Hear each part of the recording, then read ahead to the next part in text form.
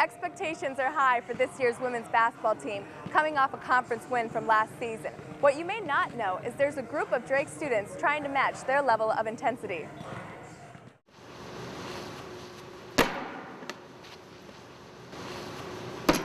Spike's Army rigorously trains five days a week in the Bell Center in the early hours of the morning.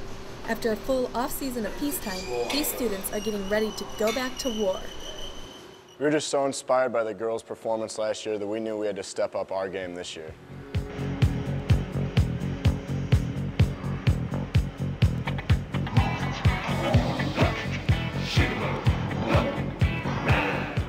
We take being in Spike's Army very seriously. You have to be mentally and physically strong to wear this shirt.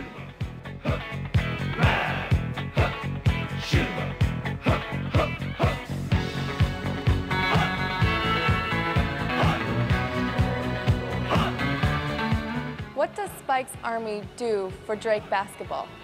Uh, Spike's Army does a lot for Drake's basketball, uh, men's and women's. We love to go out there, get rowdy, give a lot of support. We, uh, we just do what we can for our school and our uh, fellow teammates. The United States Army says they're an army of one, and that's cool. But Spike's Army is like 30, so that, it's like 29 better. Shoot 'em up.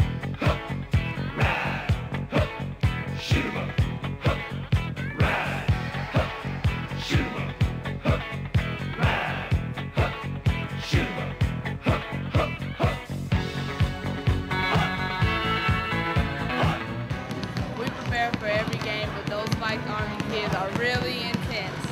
You can't improvise this kind of passion. Every dance, every chant we do has to be executed with perfection.